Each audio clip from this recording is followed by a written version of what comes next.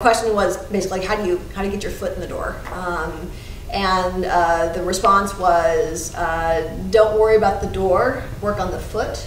To say work on the material right, Right. so like it's uh, you know, being in la and this is something that people who are not in la kind of struggle with like being in la you have the great benefit of like things like this. You have writing classes, the the Writers Guild um, Foundation, the Writers Guild itself. They have panels and speakers and craft festivals, like all the time. There's a lot of stuff happening. There's a lot of people in the industry you come across.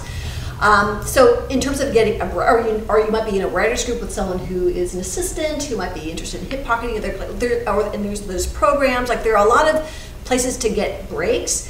Um, what's not replaceable is a really really good script. So spending the time to get your script like bulletproof and you know read like readings like this help uh, feedback helps rewriting helps.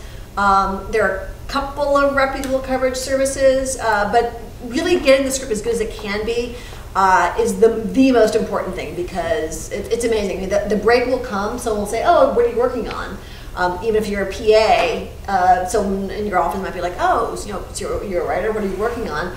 Uh, you might have one chance to give them something to read, so that thing needs to be really as good as possible. So it seems it seems um, self-evident, but you know, being in LA, and this was me before I um, became a writer. It's like you know, there's like you know the sense of, of, of striving and hustle, and is it is it you know is it networking, is it mixers, like those things those will, if you don't have the material when that moment happens, it might as well not happen because you often just get that first, that one chance.